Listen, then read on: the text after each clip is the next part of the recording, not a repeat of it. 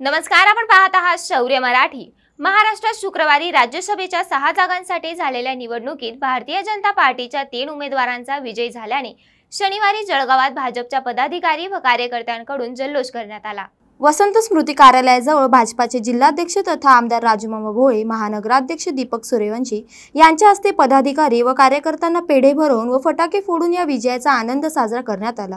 याप्रसंगी गटनेता भगत बालानी उज्ज्वला बेंडाळे विशाल त्रिपाठी महेश जोशी नितीन इंगळे सुभाष चौचे अरविंद देशमुख महेश चौधरी ज्योती निंबोरे रेखा कुलकर्णी बापू ठाकरे प्रकाश पंडित धीरज वर्मा गणेश माळी योगेश पाटील वंदना पाटील संजय लुल्ला दीप्ती चिरमाडे रेखा वर्मा सरोज पाठक ज्योती राजपूत शोभा कुलकर्णी छाया सारस्वत ज्योती बर्गे भूषण भोळे मिलिंद चौधरी दिशांत जोशी जितेंद्र चौथे अक्षय जेजुरीकर सागर पाटील उपस्थित होते.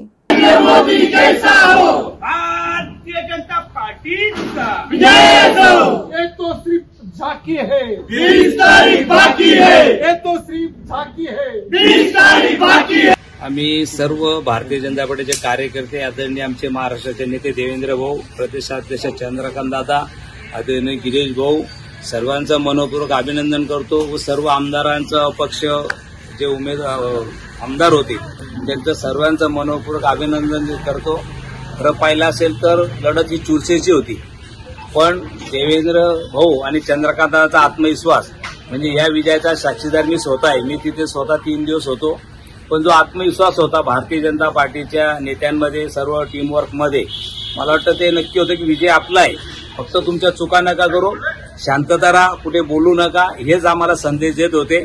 आणि त्या संदेशाचं आदरणीय देवेंद्र भाऊ चंद्रकांतांनी मला वाटतं चीज करून जावलं आणि खरं पाहिलं असेल तर ह्या आघाडी सरकारच्या विषयी नाराजी म्हणजे बऱ्याच वेळेला आमदार असं म्हणत होते की बाबा मुख्यमंत्री भेटत नाही अपक्ष आमदार असतील किंवा त्यांच्या आमदार असतील. आणि या माध्यमातून आमचे देवेंद्र भाऊंनी सांगितलेलं आहे की बया आघाडी सरकारवरती नाराजी व्यक्त केलेली आहे तर आमदारांनी असं आहे की हे मतदान दावून करायचं होतं.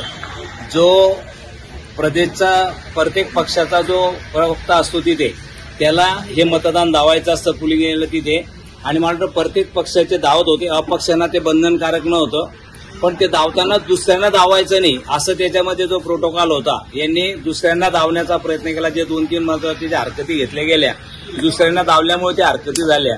आणि मला वाटतं एक मत त्याच्यामध्ये बाद पण झालेलं आहे. नाही चार जागा आहे पाचवी जागा जो जो पाचवी जागा आम्ही फॉर्म भरणार आहेत आदरणीय देवेंद्र भाऊ आणि चंद्रकांत निर्णय घेतील त्याच्यावरती मी बोलणं योग्य होणार नाही.